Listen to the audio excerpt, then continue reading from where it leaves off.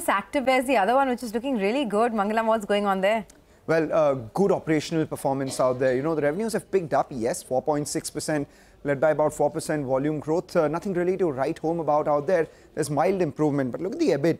Uh, I mean, you know, the EBITDA has grown by about 13%, margin improvement of around 130 basis points, and that's flowed all the way down to the bottom line, which has seen a growth of nearly 40%. What the company said is that it was their renewed focus on trade distribution that led to the margin uh, uh, growth and the revenue growth in the second half of this year.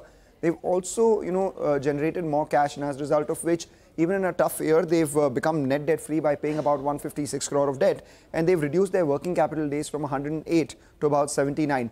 Kotak's actually written on Campus this morning as well, and they've said that you know uh, these numbers uh, were a beat on profitability.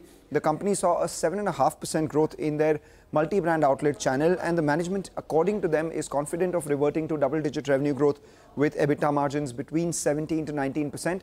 As a result of which, they maintain their ADD rating with a target price of 285 on the stock. All right. Uh, thanks very much, Mangalam, uh, for that. Well.